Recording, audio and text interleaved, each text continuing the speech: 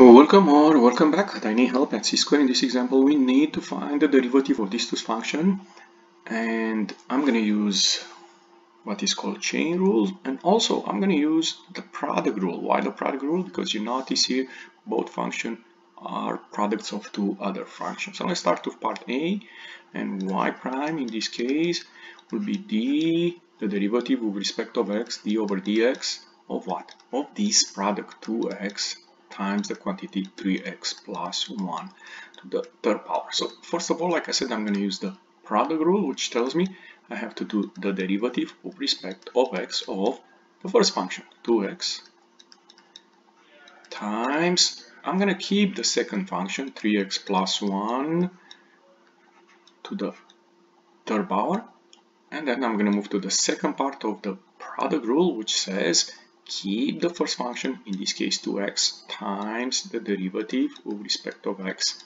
of the second function, which is 3x plus 1 to the third power. So let's see what we can do here. First of all, we can do the derivative with respect of s of 2x, which is 2 times 3x plus 1 to the third power plus 2x and now let's move to the second part. So here we're gonna have to use like I said here the chain rule. So I'm gonna have this function 3x plus 1 to the third power so that 3 goes up front times 3x plus 1 to the second power. So I use the power rule first here and then by the chain rule I'm gonna do the derivative with respect of x of uh, 3x plus 1. So be careful here with this power rule and chain rule. So we have here 2 times the quantity 3x plus 1 to the third power plus 6x times the quantity 3x plus 1 to the second power and now the derivative of 3, 3x plus 1 is just 3 so what can we do here? Uh, what I will suggest you here to do it is to factor out the 3x plus 1 and to the what power? To the second power that is the smallest power in this sums of function. And then we are going to have here inside of the parentheses 2 times the quantity 3x plus 1 which comes from the first part from here and then for the second part we're gonna have plus 6x times 3 that is 18x a little bit more simplification. So we're gonna have 3x plus 1 to the second power. And here we're gonna have 6x plus 2 distributive property plus 18x and the final form I will say y prime will be 3x plus 1 to the second power and inside of the parentheses you're gonna have 24x plus 2 of course you can factor out the 2 if you want in the second parenthesis or you can keep it like that. So now let's move to the second one part b. Similar we're gonna have f prime of x which is going to be the derivative with respect of x of this expression.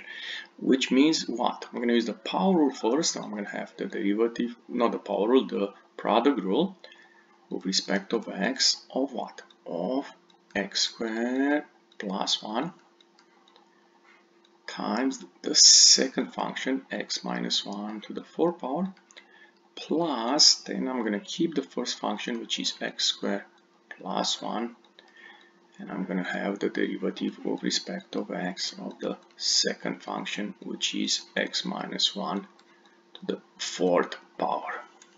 So this is the uh, product rule in action and let's see what we can do. We can do a simplification here the first part and that will be 2x times the quantity x minus 1 to the 4 power plus uh, x squared plus 1 and now what is the derivative of x minus 1 to the 4 power? I'm going to use the power rule first 4 times x minus 1 to the third power right remember you drop 1 and then by the chain rule I'm going to have the derivative with respect of x of x minus 1. Let me write it like that,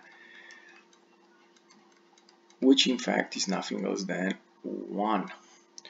So I'm to have here 2x times x minus 1 to the 4 power plus 4 times x squared plus 1 times x minus 1 to the third power and like I said the derivative respect of, f of x minus 1 is just 1. Now we can factor out an x minus 3, x minus 1 to the third power in these two uh, terms. And we're gonna have x minus 1 to the third power. Then we notice we can factor out a 2 here. And let's see what we have inside of the parentheses. We have an x and then we have an x minus 1 on the first part plus and the second part we have x squared plus 1 uh, a little bit more simplification. We're gonna have 2 times the quantity x minus 1 to the third power. And here you're gonna have x squared plus another x squared. That will be a 2x squared minus x from this distributive property plus this one. And that's it and I think this is the final form of f prime of x. Of course, you may want to see if that 2x squared minus x plus 1 can be factored out, which I don't think it works. If you enjoy this video clip, don't forget to click the like button and come back on C squared for more help. Thank you.